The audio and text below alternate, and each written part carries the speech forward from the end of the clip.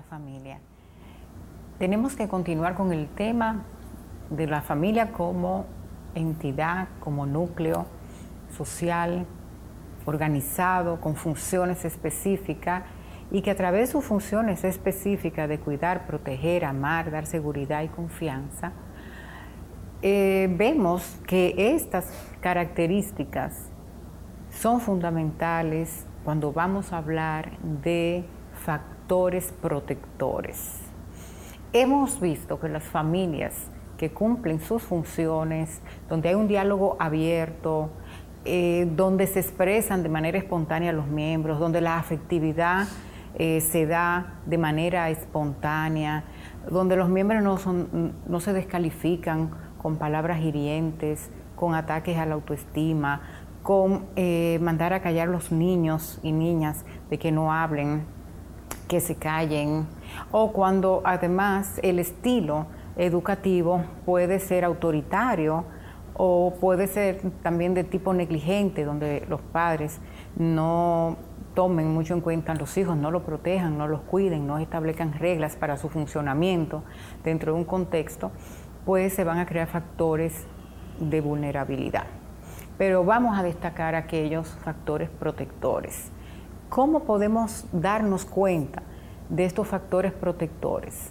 Cuando los niños se sienten seguros, se sienten confiados, cuando pueden socializar con otros amigos de manera espontánea, hablan con claridad.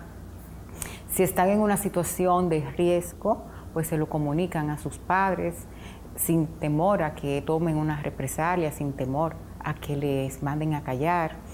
Entonces estos factores protectores de la familia van conformando en los niños y en las niñas y en los adolescentes una autoestima este, fortalecida, porque aprenden a valorarse, en este núcleo familiar aprenden a ser tomados en cuenta, a no ser descalificados, a que pueden de una manera espontánea comunicar alguna situación que le esté generando malestar, sufrimiento, de que hay alguien que quiere tocarles en contra de su, de su, de su consentimiento, que quiera tocar su cuerpo, que le esté haciendo una, invitación este, que ellos perciben eh, que es una invitación eh, inadecuada, como por ejemplo, déjame acariciarte, vamos aquí, no se lo diga a tu papá, no se lo diga a tu mamá.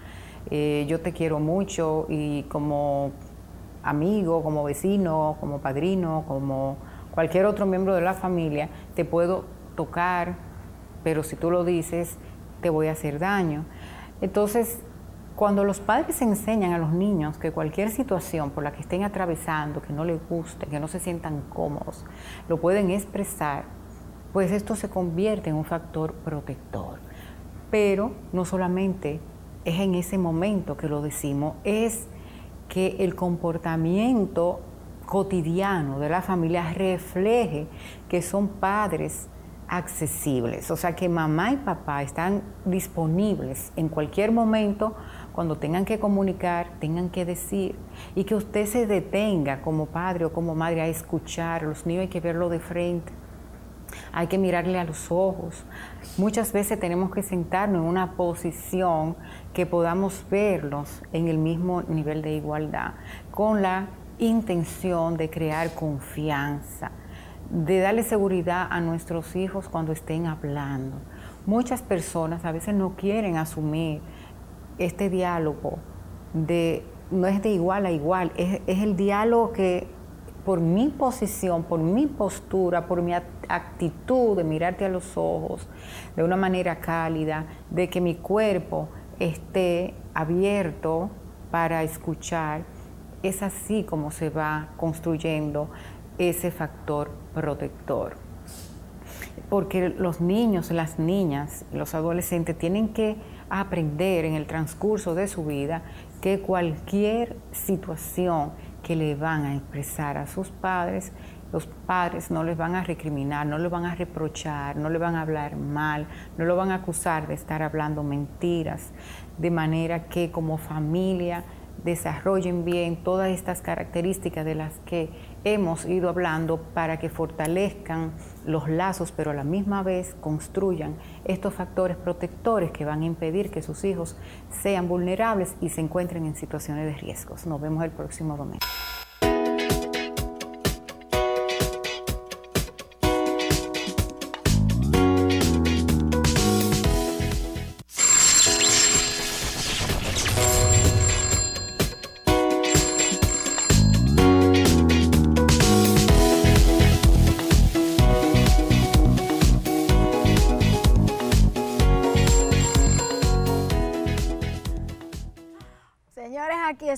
Ya usted sabe, muerte y risa, que el padre se ha dado un golpe, dice él.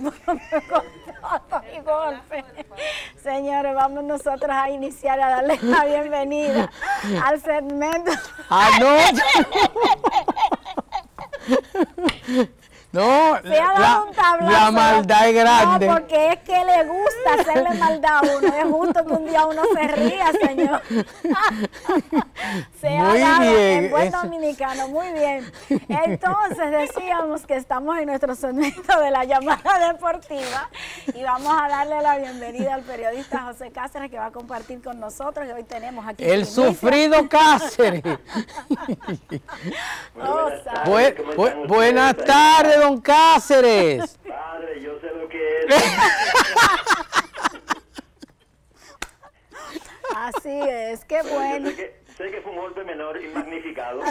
Sí, sí, magnificado. sí. Son cosas que pasan. Sí, claro. Por eso, gracias a Dios, ella le da gracias a Dios que yo no tenía para darte un video aquella madrugada en que está Meralda soñando que se está cayendo y cuando vino a ver, agarró la mesa. ¡Pam! Pero no me deje caer, porque yo tengo esa habilidad. No te dejaste caer. No, no me deje caer. Cáceres no tiene que comentar nada. Bueno, yo eh, tengo muchas noticias eh, en el mundo deportivo local e internacional y en nuestra mesa de trabajo rápidamente vamos a comentar tres noticias que me han llegado y es que el dominicano José Bautista fue dejado libre por el equipo de Atlanta estaba apenas bateando 143 con 5 hits en 35 turnos. Ya parece que ha llegado el final de la carrera de Bautista, quien con grandes números logró excelentes jornadas con el equipo de Toronto hace ya el último año y ahora Atlanta lo acaba de dejar libre, lo que significa que pudiera estar firmando con cualquier otro equipo antes que concluya eh, la temporada regular. Y hace apenas minutos el equipo de Washington acaba de subir al dominicano Juan Soto, jardinero del equipo de los Tigres del Licey de apenas 19 años. Estaba jugando en el equipo AA del equipo de Washington y por una excelente temporada con ese equipo, pues acaba de ser llamado para cubrir la vacante de uno de los jardineros que se, se lesionó un tobillo y el dominicano de apenas 19 años está ya en grandes ligas. Vamos a ver por qué tiempo, si se puede mantener. Cualquiera puede llegar, lo difícil es mantenerse como esa ley que hay en la vida. Dímelo a mí. Vamos a ver ¿En qué te han mantenido? Las imágenes que tenemos ahí y vamos a arrancar con la triste noticia de la semana y pudiera ser la noticia del año. Lo que fue la suspensión por 80 partidos del dominicano Robinson Cano del equipo de Seattle, el criollo, pues dio positivo de la sustancia furosemida. Y quiero aclarar de inmediato, furosemida no es una sustancia prohibida, no es, no es droga ni es esteroide. Es una sustancia que se usa, y por eso está prohibido en grandes ligas, para ocultar cualquier sustancia prohibida o esteroide que usted haya usado. La furosemida se usa como diurético para orinar y esto elimina cualquier tipo de sal o cualquier tipo de sustancia a través de la orina y oculta cualquier examen que pueda dar positivo a futuro. Así es que lo principal es, y eso me gustaría a mí, que el dominicano Robinson Canot dijera, ¿Qué médico dominicano lo atendió en República Dominicana que le recetó ese fármaco? Porque él no lo ha dicho. Simplemente admitió que dio positivo por esta sustancia, que no es esteroide, sino que busca encubrir eh, cualquier tipo de sustancia. Cáceres, yo, yo creo que precisamente eso es lo que lo pone a él en la desventaja y frente a la situación difícil, porque si no tengo nada que tapar, si no tengo por qué limpiar, desintoxicar mi sangre, ¿por qué voy a usar el medicamento? Entonces hay muchas eh, ideas, muchas eh, cuestionantes en el aire de por qué usar el medicamento. O sea, no sé, tú es que estás más cerca que puedes decirlo, porque uno quisiera como que te decir, no, hubo una falla, o sea, el doping no fue positivo, pero ¿qué, qué pensar uno como fanáticos y como... No, de, esa apreciación tuya, Meralda, sin duda, Robinson Cano tomó alguna sustancia y buscaba eh, extraerla de la sangre a la hora eh, de que le fueran a hacer uno de estos exámenes de dopaje de manera aleatoria. No es que en grandes ligas a cada jugador le hacen una prueba de dopaje, no, es aleatorio. Hoy dicen, vamos a tomar al pitcher de los Dodgers, vamos a tomar a fulano de tal segunda base, vamos a tomar a fulano de tal jardinero. Es aleatoria la prueba, sí se la hacen a todos, pero a nadie se le avisa en qué momento le van a hacer la prueba. Tengo un dato, y eso quiero confirmarlo, aunque lo voy a decir en Domingo Familiar. Una empleada de Alex Rodríguez, que estuvo trabajando en Miami en una clínica de biogénesis, me dicen, y quiero confirmarlo, estaría trabajando con Cano en su fundación en San Pedro de Macorís. A confesión de parte, relevo de pruebas, dice un adagio popular. Yo estoy que ni vieja con leche bebo, no vaya a hacer cosas. ¿Ni vieja con leche? No, señor. A mí me dijo una señora que comiera borre café, que con eso, y digo, nada, a, mí no, yo no me van... ¿Y en qué le va a afectar eso a usted? ¿En qué me va a afectar? ¿En qué? Oh, mira, actualmente estoy practicando un deporte. Ay, Dios Óyeme que va a ser un palo. ¿Cuál es ese? Cuando eso se dé, la, la, gente se dé cuenta que funciona, yo voy a ser no solamente coach, yo voy a ser manager de Vitilla. Porque ¿De me, da Un, me da un de Vitilla, un deporte nuevo que, ¿Nuevo? Son una, son una, explicándole al público, son una tapa de botellón Mire, no lo explique, que eso es muy viejo. El padre jugó muchísima vitilla. yo, todo, ya el todo el mundo, aquí todo el mundo sabe lo, lo, que es vitilla. Yo tengo eh, la impresión de que el inmortal dominicano Luis Polonia ah. tiene razón cuando dice, usted, sobre todo usted, mm. se puede pullar todos los esteroides que usted quiera y no da un gorrón en vitilla. o sea, no es asunto de que el esteroide le va a ayudar a dar gorrón. Es asunto de la capacidad profesional y atlética que usted tenga. Ay. Ahí sí, ahí sí estamos de acuerdo, capacidad atlética. Don Cáceres. Y, y, si uno come sábila, ¿no? No, no, usted se tranquilo. Don Cáceres, déjeme, déjeme aprovechar que sea, eh, bueno, no se encontró los esteroides, todo lo demás, droga, pero lo que ingirió sabía muy bien que estaba prohibido. Entonces, por eso se le está sancionando. ¿Qué está pasando? ¿Quién es que está asesorando a estos muchachos que cometen errores sabiendo, porque si estuvieran en, eh, en el batey central de Barahona, si estuvieran en otro sitio, pero están viendo que eso lo hacen de modo aleatorio, que lo hacen sin avisar, por supuesto, que es constante, que está prohibido, que ya tú has llegado a la cima. ¿Qué necesidad tienes? De estar haciendo cosas mal hechas. Un muchacho que tenía la puerta junta de, de, Padre, de Cooperstown no y ahora la cerró. explicación, No hay explicación para esa pregunta suya. Estos jóvenes peloteros y de otros deportes, ellos no acceden a que nadie le asesore, ni en la parte médica ni en la parte de prensa, ellos lo saben todo.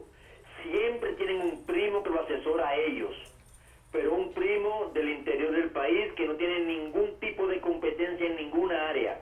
Además, cuando ellos logran esos grandes contratos, llegan los nuevos amigos.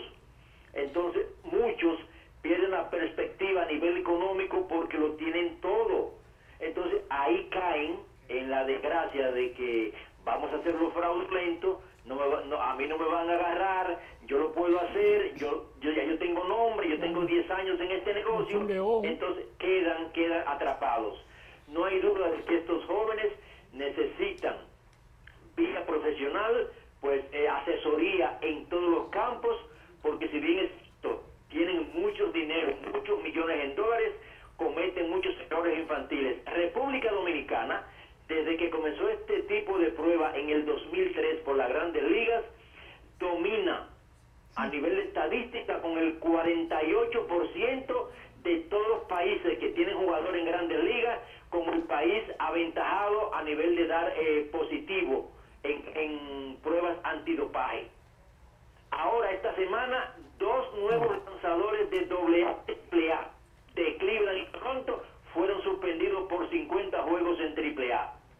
Sea, no hay forma de que tomen cabeza y no hay forma de que no hagan lo mal hecho, porque Dios está ahí, Dios ve lo malo y ellos ven el hoyo ahí, sin van hacia el hoyo y caen al fondo. Yo pienso que hay, sí, y, y esta reflexión que hace Cáceres debe aplicarse a muchos muchachos que, óigame, el dinero no aporta nada, no da sabiduría, no, la sabiduría se busca en casa, la formación se busca en casa, los valores se buscan en casa. Y usted lo tiene que aplicar, tenga dinero o no. Por eso mucha gente cree que a mí no, a los otros sí, pero a mí no. El otro es el que se va a morir, como los motoristas que andan calibrando. Y ven que el Darío está lleno, que nosotros estamos enterrando por semana dos y tres. Eh, no, los otros, a los otros sí le pasan, pero yo soy Superman. O sea que es una concepción, una percepción de la realidad errónea. ¿Y qué es lo que tenemos que hacer? Que usted que está practicando para ser pelotero, coja juicio, coja cabeza. Esto nos puede ayudar hasta los que no son peloteros. la eh, vida. La vida es una lección de vida. Y también Cáceres, recordar que esa grande fortuna estadísticamente después que terminan en las grandes ligas o en el baloncesto profesional, a los cinco años, con mucha suerte, todavía no, tienen un centavo. O sea, se le va. ¿Por qué? Porque piensan que es eterna, que la, que la fortuna es eterna, que no hay que disciplinarse, no cogen eh, la seña que dicen los padres porque empiezan a llegar una cantidad de primos, sobrinos, tíos que nunca iban por la casa, desde que le firman creen que son, es a ellos que lo han firmado. Entonces empiezan a, comprar vehículos caros. Mire, es una cuestión, ¿cuántos hemos visto que han dejado sus vidas en las carreteras también, bebiendo o haciendo líos? O sea, hay que retomar, somos una potencia en el béisbol pero miren esta estadística, somos una potencia en dopaje también. Entonces, ¿qué quiere decir eso? Que uno, bueno, se cuestiona y verdaderamente la gran satisfacción que tiene el pueblo dominicano, la fidelidad y sobre todo ese fanatismo y el respeto que les otorga a cada uno de los eh, peloteros dominicanos, claro, por su hazaña, eh, pues uno queda dolido, el pueblo se, se, lesiona porque definitivamente a uno le queda la interrogante, es verdad, es mentira. Entonces yo creo que en atención a eso este y, a la responsabilidad que tienen con el bate y todo lo que consiguen a través de este deporte. Entonces yo pienso que hay que tener los pies muy bien puestos sobre la tierra y no tratar de despegarse por más dinero que tengamos para no tener luego que vernos pues compelidos y eh, acusados en el banquillo de, de, los acusados, que es terrible cuando uno ha tenido una hazaña importante, después entonces todo se cuela por ahí. Ah, dio, dio, positivo en dopaje, entonces todos esos numeritos que tú has acumulado por un talento que tienes, se va todo por ahí, se cierran oportunidades y ahora yo te pregunto, Cáceres, ¿qué va a pasar para Cooperstown? ¿Habría oportunidad de plano se descalifica? ¿Qué pasaría? La puerta estaba junta y él la cerró. Robinson Cano iba rumbo a llegar a los 3.000 hits en dos o tres años más con buenas temporadas, sin embargo ya con esta mancha de por vida, no hay duda de que ya eh, se ve muy remoto que pueda llegar al salón de Cooperstown. Sí tendrá buenos números, no hay duda de que lo logrará porque su carrera no se termina. Él estará de regreso a las grandes ligas el 13 de agosto de este año, cuando cumplan los 80 días de suspensión que le fue impuesta por las mayores. Esos 80 juegos le va a costar a su bolsillo 12 millones de dólares en recorte su salario de este año, que era de 24 millones de dólares. Recuerden que Cano firmó por 240 millones de dólares hace ya algunos años con el equipo de Seattle y no hay duda de que la, esta sanción ha golpeado su bolsillo, ha golpeado su imagen y le ha golpeado su camino hacia Cooperstown, que ya como hay otros dominicanos implicados en casos de esteroides, pues yo creo como están los periodistas norteamericanos y como está la sociedad de Estados Unidos, eh, ya Robinson Cano no estará llegando a Cooperstown, donde tenía un camino expedito, porque era un joven ejemplar, lo sigue siendo, como ser humano lo sigue siendo, cometió este error y pagará por ello. Es importante, todo lo que yo me dedico a dar consejos. un retiro, un retiro espiritual. Váyase donde unos monjes por allá, si quiere venga al país y váyase allá a Arabacoa, donde los monjes, porque este es un momento de reflexionar y con el de allá arriba hablar y arreglar las cuentas para que este error no se vuelva a repetir y yo creo que él puede levantarse y decir, mira, los que me aconsejaron no le vuelvo a coger ni la llamada. Todas esas malas influencias, que no hay otro camino. Cuando hay malas influencias no hay otro camino que cortar de raíz. Y si usted me llevó al hoyo por un mal ejemplo, por estarme diciendo que a mí no, a ti no se van a enterar. Bébete esto, que esta sangre queda limpiecita como un niño. Así que atención, reflexionar y yo creo que le conviene. Y este ejemplo, que sigan este, este ejemplo, que fue un muchacho que, que abrazo puro limpio. Pero vive todavía, vive. Claro, que sigan este ejemplo. Y yo creo también, Cáceres, que, que, dicho sea de paso, ando Cáceres con este libro para arriba y para abajo. Me puede hacer la pregunta que tú quieras sobre Pedro Martínez, la que quieras sobre Pedro Martínez. sí. La que Pedro Martínez? ¿Eh? ¿Cómo es la cosa? Que cuando nació Pedro Martínez. Un día, ¿verdad? Pero por amor, pero, pero, pero, pero dígame. ¿Qué, qué, esta pregunta ganchosa? ¿Y qué es esto? Además yo dije, yo dije bien claro, me puedes hacer la pregunta que tú quieras, pero yo no tengo capacidad de responder. Respondértela toda. No, no, no. Mira, Martínez nació, yo sí quiero nació en Vallaguana, okay. es lo único que yo sé. Mira, yo sí quiero aprovechar para dejar claro que realmente el objetivo no es eh, enjuiciar ni, ni, poner pues en tela de juicio todo el trabajo que ha hecho eh, Cano. Ay, qué bueno. El asunto es que verdaderamente que mueva la reflexión de, de los demás eh, peloteros que vienen subiendo, lo que ya están, y que sepan, que lo sepan, que la vigilancia es permanente y tienen que saber que las personas que en Estados Unidos están en esta misión no duermen y que a veces hay peloteros que por años, por años están dándole seguimiento y pueden saber en una etapa inicial lo que está pasando, lo que está consumiendo, lo que, cómo, cómo están pullándose, como dicen en el argot deportivo. Pues entonces, señores, los que tengan la barba en remojo, por favor, sáquenla de ahí y traten de ser más honestos con ustedes mismos, con su profesión para que al final puedan obtener los logros que tienen. Los logros bueno. que llevan con su talento son de ustedes, no tienen por qué ensuciarlo, pues dándole cabida a tantas provocaciones y, y sobre todo al permiso que le da las fortunas que tienen. Me la de ti del padre Manuel, eh, haciendo acopio a lo que señaló el padre Ruiz, de el first play, juego limpio. Uh -huh. Mientras yo estoy jugando con sustancias prohibidas, buscando ventajas, otros están en el juego limpio. Eso hay que aplicarlo a la vida. Vamos a jugar limpio en todos los estamentos de la vida nacional. Del ejemplo a los niños, a los jóvenes, hasta a los adultos se les puede dar ejemplo. Si es que esto le estará sirviendo a Robinson Cano, ojalá se convierta en un espejo para muchos, porque no jugó limpio, va a pagar por ello y quedará manchado para el resto de sus vidas. Bueno, es bueno, lamentable, gracias, ¿verdad? Don Cáceres. y ciertamente todo lo que pasa tiene que servirnos para, para bien, ¿verdad? Los jóvenes prospectos que van subiendo, no solo en el deporte, es un ejemplo para la vida completa. El que la hace, tarde o temprano, la paga. Y el que no quiera que algo se sepa, que, que no, no, lo haga. haga. Así es. Bueno, pues buenas nos, tardes, buenas tardes. Cáceres, gracias, gracias a Cáceres por compartir con nosotros estos comentarios y sobre todo traer las informaciones importantes del mundo deportivo. Nosotros seguimos con más, no se muevan.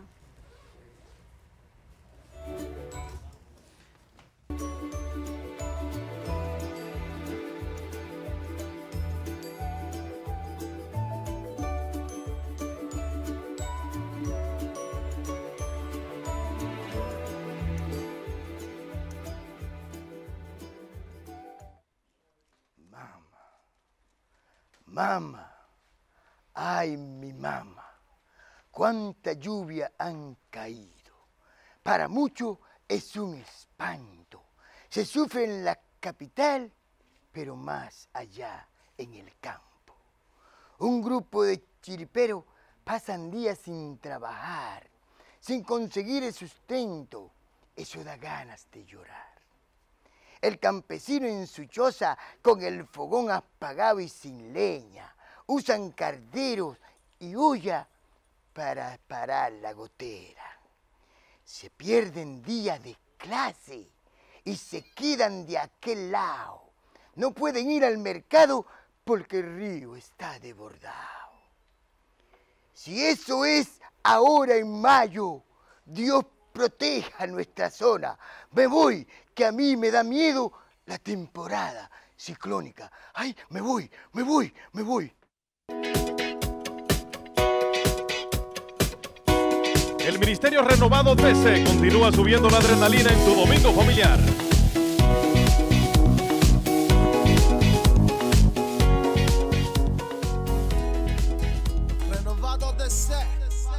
Católico universal, en el nombre de Cristo, que viene a cantar. Alquimita, alerta pendiente. Yo soy cristiano católico, eternamente. Alerta pendiente. Somos cristianos católicos, eternamente. Alerta pendiente. Yo soy cristiano católico, eternamente. Alerta pendiente. Somos cristianos católicos.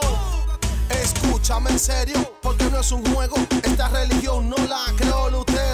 Descendencia viene de San Pedro, donde me enseñaron a rezar el Padre Nuestro y me critican porque uso mi crucifijo. Pendiente a lo suyo, de ustedes no me fijo. La cruz para nosotros no es un problema. Esto lo llevamos por la sangre y por las venas. Alerta pendiente.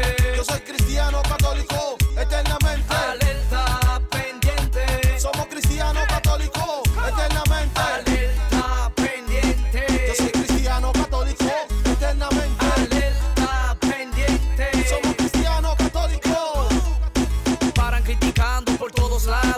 Sacerdotes no se casan y no saben de lo que están hablando de la Biblia entera. Te dicen un pedazo, ellos saben bien y lo tienen callado. Díganle a la gente dónde que se encuentra en Corintios 7:32. Ve y date cuenta con Jesucristo. Firmaron un eterno contrato. En el servicio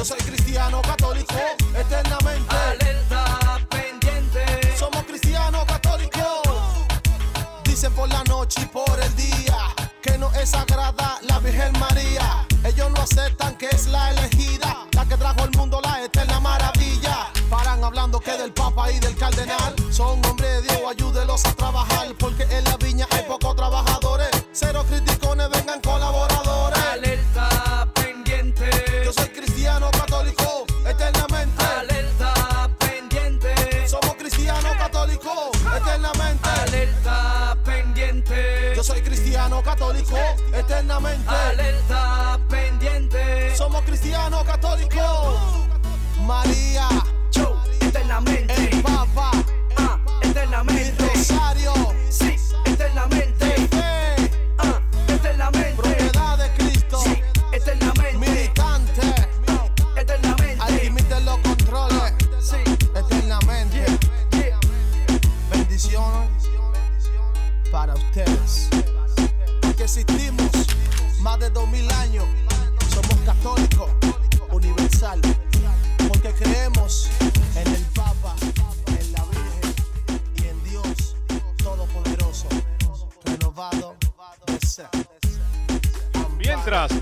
en nuestras redes sociales y coméntanos con el hashtag Domingo Familiar RD.